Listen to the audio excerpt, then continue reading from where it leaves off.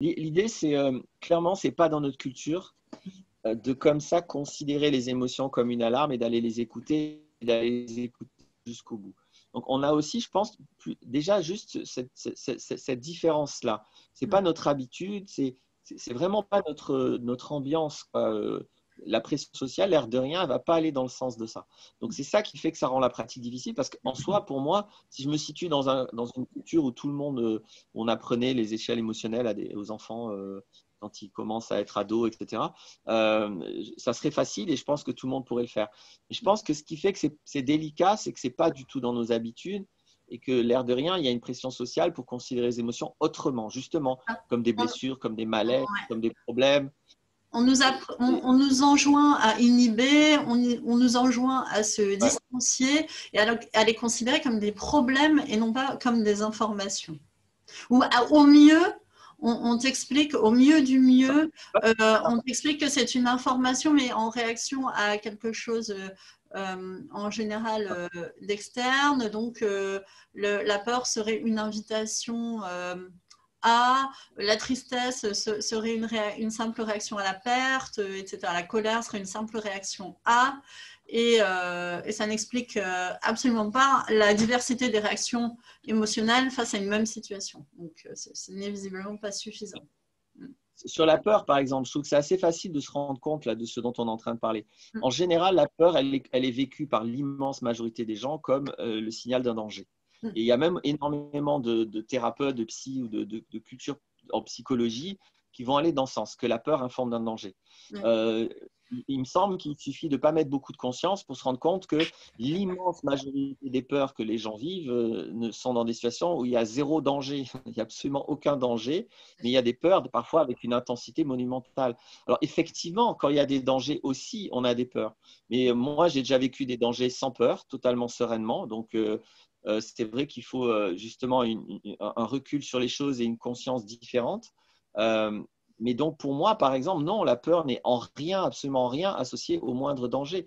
Euh, et, donc voilà ce que j'entends par pression sociale, etc.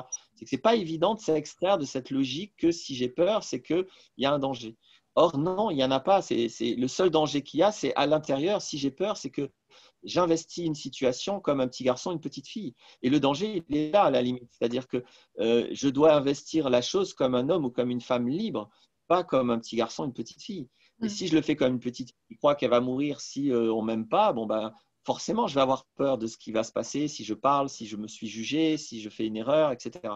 Euh, euh, mais, la peur est, interprétée d'une manière qui va induire des comportements de fuite ou de protection ou de défense.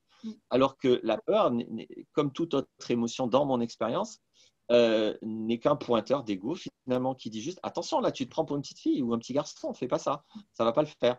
Euh, c'est juste ça. Alors c'est pas toujours évident hein, de, faire autrement de trouver quel adulte je peux être dans des circonstances qui me font peur. Mais, mais c'est évident pour moi que tous les gens qui trouvent ça bah, ils ont plus peur. Mm. ceux qui arrivent à exister devant ce qui leur faisait peur la veille et qui trouvent une façon d'être une façon d'exister bah, il n'y a plus la peur Mm. alors que la situation n'a pas changé et éventuellement le danger, les risques n'ont pas changé. Mais il n'y a plus la peur parce que cette fois, je suis moi libre.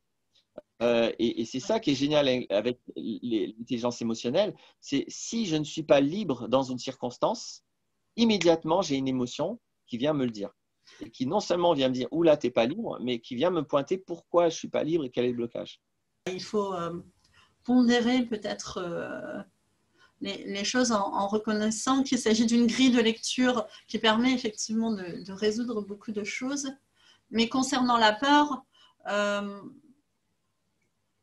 je pense aussi qu'il y a des peurs irrationnelles qui sont des héritages de, notre histoire sur le long terme, enfin des millions euh, d'années d'évolution, du fait qu'on est des mammifères et tout ça, les, angoisses de l'inconnu, de Enfin, cela dit, ça n'invalide en rien euh, l'échelle émotionnelle qui effectivement apporte un, éclairage et permet de, résoudre beaucoup de choses. Qu'est-ce que tu en penses de cette pondération que... Certainement, encore une fois, que quand il y a des dangers, je vais avoir des peurs. Mais mm. ce n'est pas, pas parce que ça se passe en même temps que l'un informe de l'autre. Dans tous les cas, ce qui m'informe du danger, c'est mes cinq sens, ce n'est pas mes peurs. Euh, avec mes yeux, mes oreilles, avec mon corps, je suis informé correctement s'il y a un danger. Je n'ai pas besoin d'avoir peur en plus. Le mm. truc, c'est que évidemment que quand il y a un danger objectif, euh, je suis dans des circonstances où, en général, c'est difficile d'être libre. Euh, tu vois, si, si, je vois un tigre qui va me bouffer, il faut une énorme sagesse pour vivre ça sereinement. Je vais mourir. Donc, les probabilités que j'ai peur sont énormes. Mais par contre, si j'ai la sagesse d'accepter la mort au cas où il n'y a pas de possibilité d'enfuir, je vais vivre très sereinement. On a des tas et des tas d'exemples. Donc, euh, c'est sûr que dans des situations extrêmes, il faut une sagesse extrême. Encore une fois, ça m'est arrivé d'être dans des situations de danger objectif et d'être parfaitement serein. Et d'ailleurs, du coup, j'ai pu, pu, agir au lieu de réagir. Et j'ai eu des actions qui ont réglé le problème en, une phrase. Euh, alors que si j'avais peur, j'aurais probablement réagi et j'aurais probablement venimé la situation. Donc, pour mon expérience à moi, mais que je ne veux pas poser comme une vérité absolue, pour mon expérience, les choses sont limpides. La peur n'a aucun rapport avec le danger. J'ai déjà vécu des dangers sans peur et j'ai beaucoup de peurs qui sont vécues sans aucun danger. Donc, du coup, pour en moi, revanche, le danger peut être un déclencheur de la peur. On est d'accord. En fait, tu fais une distinction entre ah euh, la, la causalité et euh, la contingence finalement d'un déclencheur. C'est très, très, fort. Il faut, faut, être conscient que pour beaucoup de gens, cette distinction n'est pas facile à faire.